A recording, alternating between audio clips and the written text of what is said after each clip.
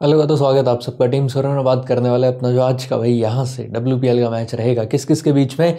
एक तरफ़ है ज़बरदस्त टीम एमआई की, ठीक है, जो कि बहुत ही बढ़िया खेल कर आए हैं अभी रिसेंट मैचेस में, और दूसरी तरफ़ है दिल्ली कैपिटल, जिन्होंने, मैं बोलूँगा एक मैच ना इनसे हारा है, हारे भी इन्हीं से थे सीज़न की शुरुआत में पहला ही मैच हारे थे, उसके बाद से दिल्ली कैपिटल्स ने एकदम ज़बरदस्त वाला परफॉर्मेंस जो वो दिखाया तो अब आज के लिए क्या प्रडिक्शन रहती जब दो एकदम बढ़िया वाले टीम जो है आमने सामने होंगी और कैसी रहेगी दिल्ली के पिच अभी बेंगलुरु पर मैचेस नहीं है। अगर आप बेंगलुरु का सोच का टीम बनाओगे तो अभी जो मैचेस है वो दिल्ली में आ चुके हैं। अरुण जेटली स्टेडियम में होगा ये मुकाबला। अब क्या प्रडिक्शन रहती है, क्या एनालिसिस है, सारी चीज़ें डिस्कस करने वाले हैं। तो वीडियो को आखिर तक देखना और साथ साथ वीडियो पसंद आए लाइक ज़रूर कर देना। चैनल को सब्सक्राइब अगर नहीं किया हुआ है तो फटाफट से वो भी कर लो और हाँ टेलीग्राम चैनल का लिंक आपको मिलेगा डिस्क्रिप्शन में तो जल्दी से वो भी ज्वाइन कर लेना। बाकी चलते हैं सर अपने मैच के ऊपर, क्या रहती है आज की प्रडिक्शंस तो देखो भाई सेवन थर्टी एस मैच की हेडलाइन अरुण जेटली स्टेडियम दिल्ली में होगा मुकाबला।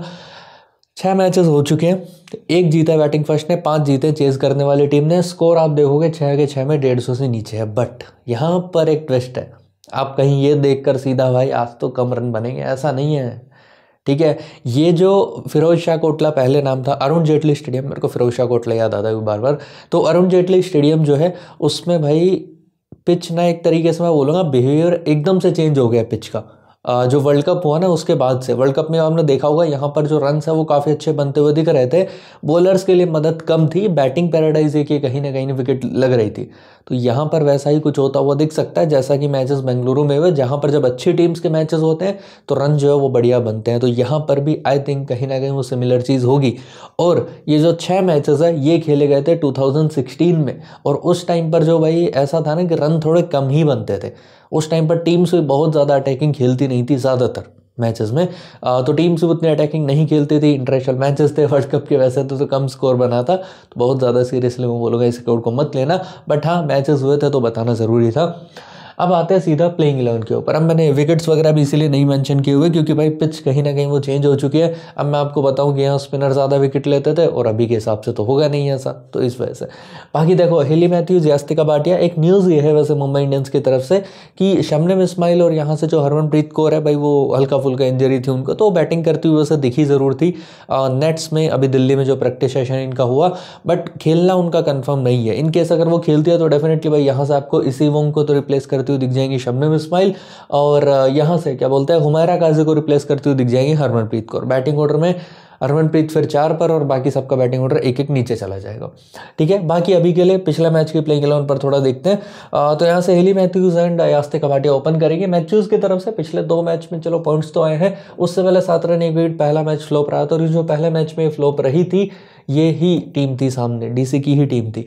आ, उसके बाद में यास्ते का भाटिया है अभी तक तो मैं बोल सकता हूँ भाई रन्स ठीक देखने को मिले यहाँ से। यास्ते का भाटिया की तरफ़ से बाकी नेथली कावेर की तरफ़ से भी परफॉर्मेंस काफ़ी ज़्यादा सही देखने को मिल रहा है।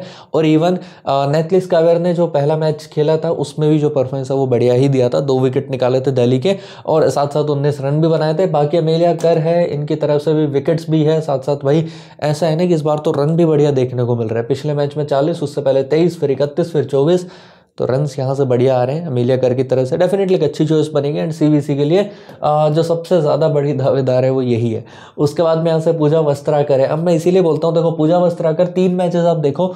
दो ओवर कराए ज़ीरो विकेट दो ओवर कराए ज़ीरो विकेट दो ओवर कराए ज़ीरो विकेट बस पिछले मैच में इनको विकेट मिल गए। तो इसीलिए मैं बोलता हूँ कि देखो, ऐसे कुछ खिलाड़ी हैं टीम में जो बहुत ज़्यादा यूज़ में नहीं आती है मतलब उनसे ना बैटिंग ना बॉलिंग ऐसा कुछ होता नहीं है। ठीक है बट जीएल में ज़रूर ट्राई करना है। क्यों? क्योंकि भाई हो सकता है किसी ना किसी मैच में वो भी एकदम झंडे गाड़ दे। और जैसा पूजा वस्त्राकर ने पिछले मैच में किया। ठीक है तो इसी वजह से भाई इनको ट्राई करना ज़रूरी है। तो जीएल में तो बिल्कुल आप ले सकते हो। पूजा वस्त्रागर आज के लिए एसएल में लेना आई थिंक थोड़ा सा रिस्की ऑप्शन रहेगा। उसका रीज़न क्या है? क्योंकि ऑलराउंडर सेक्शन में आपके पास में ऑलरेडी पाँच से छः ऑप्शन है पिक करने के लिए। तो कहाँ पूजा वस्त्रागर को मैनेज करोगे? तो इस वजह से आ, बाकी जीएल टीम्स में आप भाई किसी ना किसी जब मेन खिलाड़ी के ऊपर रिस्क लोगे तो पूजा वस्त्रागर को रख लेना टीम में। आ, बाकी यहाँ से इसी वोंग है विकेट्स तो मैं बोलूँगा दोनों मैचेस में यहाँ से इसी वोंग की तरफ़ से देखने को मिली है। और इवन इसी वोंग का फ़ायदा ये होता है ना पिक करने का कि इनकी बैटिंग ऊपर आती है। बाकी सबसे इवन सजीवन, सजना, अमनजोत कीर्तना हुमायरा काजी से ऊपर जो है, इसी वोंग को लाते हैं, क्योंकि इसी वोंग बैटिंग जानती है थोड़ी बहुत रन वगैरह बना लेती है तो इस वजह से वो एक फ़ायदा डेफिनेटली होता है। बाकी सजीवन, सजना हुई, अमनजोत कौर हुई, कीर्तना हुई हुमायरा काजी हुई, ये चार खिलाड़ी जीएल में ही ट्राई करना। है एसएल के लिए उतनी अच्छी ऑप्शंस नहीं बनती है, वापस से बता रहा हूँ, बाकी साई के इशाक है।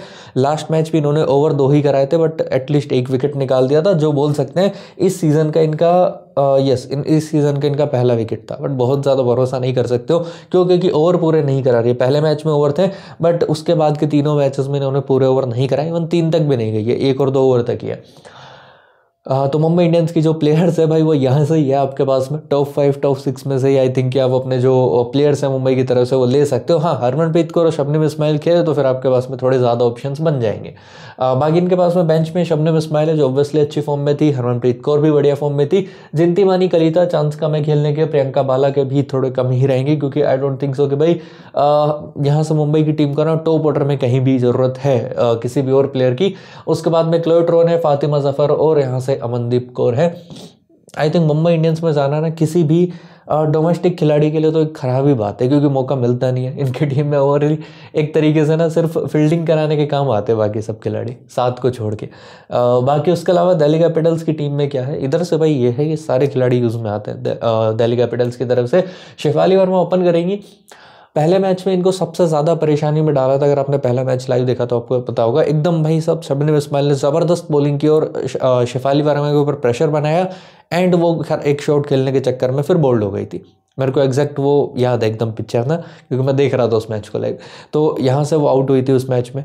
अब इस मैच में यहाँ से शबनम इस्माइल रहेगी नहीं, शेफाली वर्मा को गलती करना नहीं चाहेगी वो भाई शुरुआत से अटैकिंग खेलना चाहेगी जैसा वो अभी तक पिछले तीन मैच में करती आ रही। तो आई थिंक शेफाली वर्मा इस मैच में फ्लोप ना होकर आपको रन बनाते हुए दिख सकती है। तो जीएल में तो देखो सीबीसी ज़रूर ट्राई करना शेफाली वर्मा को। बाकी एसएल में तो टीम में रख सकते हो। उसके बाद में मैग लर्निंग की तरफ़ से वही है। कंसिस्टेंटली इनकी तरफ़ से रन आते हुए दिखते हैं। पिछले मैच में पचास आया था, बाकी कैप से है। बॉलिंग नहीं करा रही है। पहले दो मैचेस इन्होंने बॉलिंग कराई थी। सॉरी पहले मैच में इन्होंने बॉलिंग कराई थी बट अभी जो बाकी के दो मैचेस हैं, उसमें इन्होंने बॉलिंग नहीं कराई है। सिर्फ़ एज अ बैटर जो है कैप्सी यहाँ से काम में आ रही है। तो सत्ताईस और छियालीस इन्होंने बनाए थे। बाकी जमीमा पहला मैच चली थी, मुंबई के अगेंस्ट में ही चली थी। बाकी के तीन तो इन्होंने भाई कुछ खास किया ही नहीं है। एक में तो चलो बैटिंग ज़्यादा नहीं आई, बाकी दो मैचेस में तो ज़ीरो और सात का स्कोर दिखाए रोड्रिगेस की तरफ़ से बाकी एनाबल सदरलैंड है। जो कि मरीसन कैप को भी एक हल्की फुल्की आई थिंक एक अनडिस्क्लोज इंजरी है जो उन्होंने भाई यहाँ से फ्रेंचाइजी ने कुछ भी बोला तो नहीं है मरीजन कैप के बारे में बट आई थिंक उनको कुछ ना कुछ इंजरी है, जिस वजह से वो खेली नहीं और फिर एनाबल सदरलैंड को वापस टीम में शामिल किया गया। हालाँकि एनाबल सदरलैंड ने रन्स बनाए बीस और यहाँ से विकेट तो उन्होंने निकाला नहीं। जैस सोनासन, ये चीज़ आपको याद होगी ना जैस सोनासन की, मैं आपको ऑलरेडी बोल के रखा था कि पिछला मैच जो इनका गुजरात के अगेंस्ट में था। और गुजरात के अगेंस्ट में जैस सोनासन कमाल कर सकती है। तीन विकेट इन्होंने निकाल कर दिखाए थे। बाकी डेफिनेटली आज के लिए भी ये रहेंगी पिछले दोनों मैचेस में तीन तीन विकेट निकाल चुकी है। तानिया भाटिया, टीम का भरोसा तानिया भाटिया के ऊपर इतना ज़्यादा है कि ये इनको नौवे नंबर पर बैटिंग करने भेजते हैं। कि भाई, जाओ, जब सब विकेट गिर जाएँगे तो तुम्हें टीम की कमान संभालनी है। नौवे नंबर पर तानिया भाटिया की बैटिंग आती है। Even Arundhati Reddy, Titas Sadhu, Shikha Pandey, Jess Jonassen, सबको भाई सब ये सबको ऊपर बैटिंग करने भेज देते बट तानिया भाटिया नौवे नंबर पर। और मेरे को शक था कि नौवे पर भी भेजेंगे नहीं भेजेंगे ये। ठीक है वहाँ पर तो बैटिंग चलो उनकी आई नहीं। आ, तो लेने का कोई फ़ायदा बनता नहीं है। यास्तिका भाटिया आपके पास में आज एक डिफ़ॉल्ट विकेट कीपर पिक बनती है उसके अलावा कोई ऑप्शन भी नहीं है। और बाकी उसके बाद में शिखा पांडे एक एक विकेट के साथ में तिताज संधु पहला ओवर मेडन दूसरे में रन खा लिए इन्होंने। ऐसे इनकी बॉलिंग रही थी दो ओवर कराए थे। बाकी अरुण दत्ती के रेड्डी की तरफ़ से भी लगातार मैं बोल सकता हूँ अभी तक जो विकेट्स है वो देखने को मिले हैं। और उसके बाद में राधा यादव है। इन्होंने विकेट निकाले तो बहुत ही बढ़िया निकाले, ना तो बिल्कुल ही नहीं निकाले। लाइक पहले मैच में दो ओवर तीसरे मैच में दो ओवर दूसरे और चौथे मैच में कुल मिलाकर सात विकेट इन्होंने निकाल ली एक में चार, एक में तीन विकेट तो एक जीएल में ज़रूर भैया आप ट्राई कर सकते हैं उनको सीबीसी के लिए। एसएल में तो मैं थोड़ा सा एक रिस्क ही मानूँगा इनको। उसके अलावा यहाँ से मेनू मनी है जिनको कि वही एक इंजरी की वजह से, शायद चेंज की वजह से बाहर किया गया था। बाकी मरीजन कैप है। इनकेस अगर खेलते है तो ऑब्वियसली मस्ट पिक बनेगी उसके बाद में यहाँ से लोरा हैरिस है। फॉर्म तो ठीक है बट चांस कम है खेलने के। अपर्णा मंडल, स्नेहा दीप्ति, अश्विनी कुमारी और उसके बाद में पूनम यादव है। पूनम यादव अगर खेले तो ऑब्वियसली मस्ट पिक ऑप्शन आपके पास में रहती है। बाकी अगर ओवर्स की बात की जाए तो तिताज संधु, पहला ओवर दो ही ओवर इन्होंने कराए थे। पहला मेडन डाला था, दूसरे में इन्होंने बारह रन दे दिए थे। उसके बाद में इनको बॉलिंग जो है मिली नहीं। बाकी Shikha Pandey, Jess Jonassen, Arundhati Reddy Sutherland और यहाँ से राधा यादव ने भी पूरी बॉलिंग कराई थी। अब तिताज संधु को बाद में बॉलिंग मिल सकती थी। इनकेस अगर राधा यादव को विकेट ना मिलते तो। बट बट इनको विकेट मिल गए तो फिर इन्हीं से जो पूरे चार ओवर डलवा दिए गए। अदरवाइज़ अगर ये विकेट लेस जाती तो फिर उस सिनेरियो में होता क्या कि इनके दो ओवर रहते और तिता संधू के शायद आपको चार देखने को मिल जाते। तो फ़िलहाल के लिए तो मैं बोलूँगा, अभी के लिए ना, यही छः बॉलर जो है, भाई दिल्ली की टीम से यूज़ हो सकते हैं। दिल्ली की टीम में सिर्फ़ एक ऑप्शन और है कि कैप्सी से बॉलिंग कराते, नहीं कराते। पिछले दो में कराई नहीं है तो मैं इस मैच में भी थोड़ी सी उम्मीद वो जो है कमी रखूँगा। बाकी बिल्कुल ऐसा नहीं कि ज़ीरो परसेंट चांस से करा सकते हैं। वुमेंस क्रिकेट में यही दिक्कत है कि 11 में से ना नौ इनके ऐसे प्लेयर होते जो बॉलिंग कर लेते और फिर मुसीबतों में हमें डाल देते कि भाई कराएँगे कि नहीं कराएँगे किसी से। क्योंकि कभी कभी ये लॉजिक के उधर चले जाते पार ही चले जाते लॉजिक के। आ, बाकी नेट स्कैवर ब्रंट और हेली मैथ्यूज इधर से है कि भाई यही दोनों जो नई बॉल के साथ में शुरुआत करती है। आ, बाकी इसी वोंग है साइके अशाक कर पूजा वस्त्राकर उसके बाद में सत्यमूर्ति कीर्तना है जिनको कभी कभार ये एक एक ओवर दे देते हैं। बाकी तो भाई यहाँ से आप ऐसा समझ के चलो कि यही छः बॉलर्स जो है वो यूज़ में आने वाले हैं। अब डेथ बॉलिंग में ज़्यादातर तो क्या होता है, अमेलिया कर से बॉलिंग डलवाई जाती है, अमेलिया कर डालती है, पूजा वस्त्राकर डालती है, और उसके अलावा नेट स्कैवर ब्रेंड भी रहती है बट हाँ चेंज होता रहता है सिनेरियो हाँ नई बॉल के साथ में स्कैवर ब्रेंड और हेली मैथ्यूज़ देखेगी पुरानी बॉल मतलब डेथ ओवर्स उसके अलावा यहाँ से आते हैं हेडवर्ड के ऊपर। वेन्यू पर तो आज तक कभी मैच हुआ नहीं है, ये इस सीज़न का पहला मैच खेला जाने वाला है तो ऐसा सच वेन्यू स्टैट्स तो कोई रहते नहीं है। अब वेन्यू के रिलेटेड आपको मैं एक चीज़ और बताता हूँ, यहाँ पर ना मैगलैनिंग वो खिलाड़ी है जिन्होंने भाई तीन मैच में 119 रन बना रखे हैं, ठीक है? सिर्फ़ एक उन्हीं का रिकॉर्ड है, बाकी ना इंडियन प्लेयर का रिकॉर्ड है, ना किसी और का है, बाकी कुछ है खिलाड़ी एक दो और जिन्होंने कि भाई बीस तीस रन बना रखे हैं तो वो मैं मेंशन करूँगा नहीं बट मैग लैनिंग है जिन्होंने तीन मैच में 119 रन इस ग्राउंड पर पहले भी बनाए हुए मतलब 2016 में, और विकेट्स के मामले में नेट्स का अगर ब्रेंट है सबसे हाईएस्ट विकेट टेकर एक मैच में दो विकेट है उनके नाम। इस कोड में से बात कर रहा हूँ। हेड टू हेड अब तक हुए हैं, जिसमें कि भाई मुंबई ने तीन बार जीत हासिल किया और दिल्ली सिर्फ़ एक ही बार जीत पाई है। पिच इस सीज़न का जो पहला मैच था, वो भी आखिरी बॉल पर मुंबई की टीम ने जीत लिया था। सजीवन सजना का वो छक्का आया था जिसकी बदौलत कैप्से ने वो बॉल डाली थी। एंड आखिरी बॉल पर यहाँ से जो है एमआई की टीम उस मैच को ले गई थी। बाकी बीस मार्च 2023 पिछले साल मैच हुआ था। एमआई ने 109 बनाए थे और डीसी भाई 110 सिर्फ़ नौ ओवर में बड़े, बढ़िया तरीके से चेज किया था, जिसमें कैप्से के अड़तीस थे, शेफाली वर्मा के तैतीस, दो विकेट कैप के, दो विकेट शिखा पांडे के, पूजा वस्त्राकर के छब्बीस, हरमनप्रीत कौर तेईस एक विकेट था हेली मैथ्यूज का नौ मार्च को मैच हुआ दोनों टीम के बीच में जहाँ पर कि एकदम उल्टा हो गया क्योंकि डीसी की टीम 105 पर ऑल आउट हो गई और एमआई ने भाई यहाँ से जो टारगेट है वो आसानी से चीज़ कर दिया। उस मैच में मैगलैनिंग के 43 थे रोड्रिगेज के 25 एक विकेट था कैप्से का आ, बाकी यास्तिका वाटिया 41 मैथ्यूज के 32 इसी वोंग के तीन विकेट और यहाँ से साई के ने तीन विकेट निकाले थे। फिर आते हैं अभी जो रिसेंट में मैच हुआ ना इस सीज़न का जो सीज़न ओपनर था वो इन्हीं दोनों टीम के बीच में ट्वेंटी थर्ड ऑफ़ फेब को खेला गया था। एक सौ इकहत्तर बनाए थे डीसी की टीम ने बट आखिरी बॉल पर वही है एमआई की टीम को छः चाहिए थे और उन्होंने भाई बना दिए। लैनिंग के इकतीस थे उस मैच में कैप्से का परफॉर्मेंस वापस से है कैप्से का परफॉर्मेंस आप देखोगे भाई, कहीं ना कहीं कैप्से का परफॉर्मेंस जो वो रहता ही है। यहाँ पर अड़तीस रन थे, यहाँ पर उनके नाम एक विकेट था, यहाँ पर इनका नाम इकतीस रन था और साथ ही साथ दो विकेट भी थे। तो कैप्से का परफॉर्मेंस तो कहीं ना कहीं आता है तो एक ऑप्शन तो भाई लेने के लिए तो बिल्कुल एकदम मस्ट पिक है। सी बी सी के लिए थोड़ा सा रिस्क है बट अगर वो रिस्क लेना चाहो तो बिल्कुल आप बना सकते हो। बाकी कैप्से के सेवेंटी फाइव है रोड्रिग्यूज के फोर्टी टू एक एक विकेट कैप और शिखा पांडे का, दो विकेट रेड्डी और कैप्से का था। बाकी भाटिया ने 57 बनाए कोर ने बनाए 55 करके दे 24 रन और साथ में भाई दो विकेट और इस्माइल ने एक विकेट निकाला नेट्स कावर के नाम यहाँ से जो है दो विकेट आए थे उस मैच में। तो ये है अभी के लिए जो हमारे हेड टू हेड मैचेस रहते हैं। सीधा प्लेयर बैटल की बात करें तो अमिलिया कर अगेंस्ट शिखा पांडे दो बार आउट हो चुके हैं।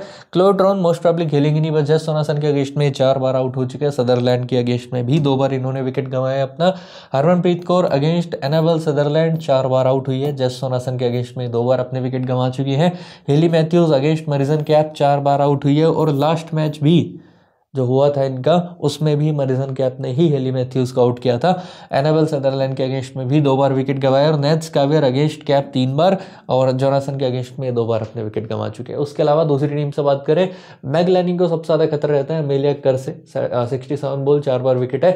इस्माइल ने भी दो बार आउट किया Alice Capsey against Shabnim Ismail तीन बार आउट हो चुकी है। अगेंस्ट अमेलिया कर उनतीस बॉल में सत्रह रन बनाकर ये तीन बार अपने विकेट गंवा चुकी है और साइकिया इशाक ने भी दो बार आउट किया, बट रन भी काफ़ी दिए।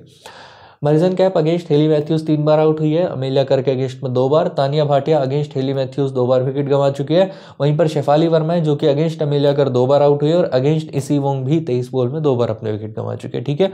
तो ये रहते हैं अभी के लिए जो भाई हमारे प्लेयर बैटल थे। स्क्रीनशॉट अगर एक बार इधर से लेना चाहो तो ले लो जल्दी से और उसके बाद में एक बार इधर से। ठीक है? अभी देखो, मेरे को कमेंट सेक्शन में किसी ने बोला था कि तुम ना पूरे हट जाया करो। भाई देखो, मैं पूरा हट जाऊँगा ना तो लोग पता है क्या करते हैं? लोग इसका स्क्रीनशॉट लेके कहीं और ही पे पोस्ट कर देते हैं। फिर मेरे को वो स्ट्राइक वगैरह वैसा करना पड़ता है। तो मेरी भी क्यों मेहनत कराते हो नहीं। मैं वैसे भी स्क्रीनशॉट लेने का मौका आपको दे ही देता हूँ कि कहीं ना कहीं से ऐसे हट के बातों बातों में तो तभी ले लिया करो स्क्रीनशॉट ठीक है, ऐसे पर्पसली हटूँगा तो फिर दिक्कत हो जाती है।